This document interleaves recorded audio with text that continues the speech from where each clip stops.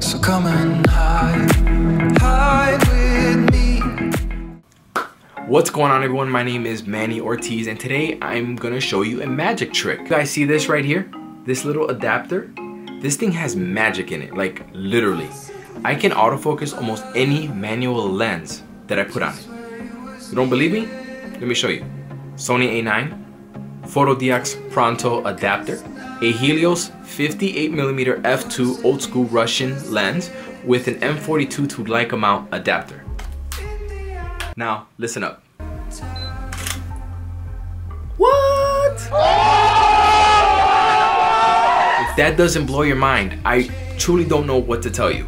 So now what we're gonna do is go on location and I'm gonna show you guys how this thing works in the real world, followed by some other photos that I did uh, using this setup. After that, we're gonna come back here and talk more of the technical details of this adapter and how we can get it to work for you. All right, so are you guys ready? Let's go.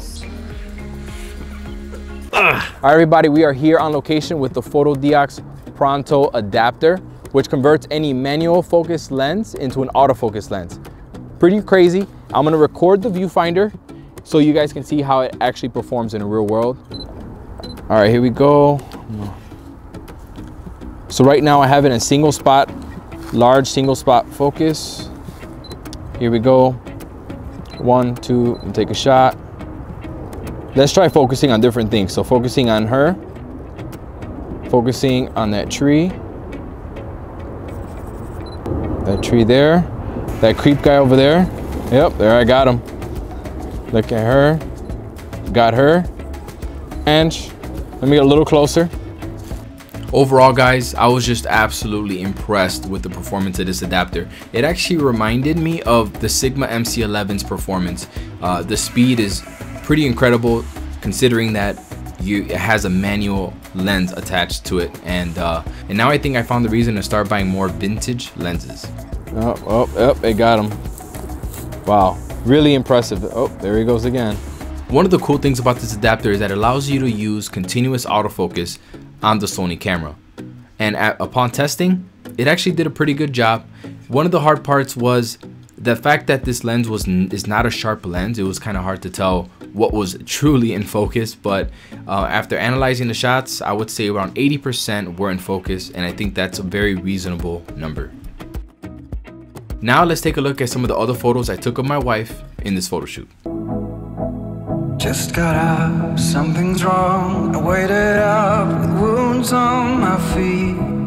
Where will you be? Flickering through memories, the Polaroids yellowed in the sun, longing to be seen. So come and hide,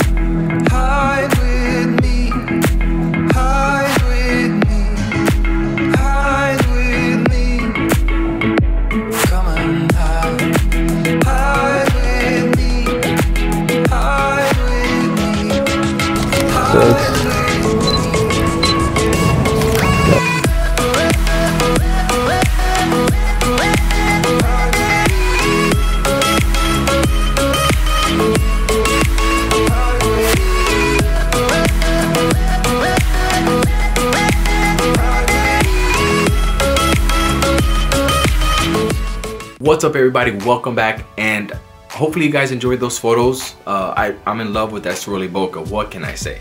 So now let's go over some of the more technical details of this adapter. So this adapter is gonna work with Sony cameras that have phase detection autofocus. So these cameras are the 6300, the a6500, the a7 II, the a7R2, and the Sony a9. When using this adapter, you wanna make sure that you don't exceed the two pound limit or you risk damaging the adapter. You may be wondering how this adapter actually works and what it does is physically move the lens. So check this out.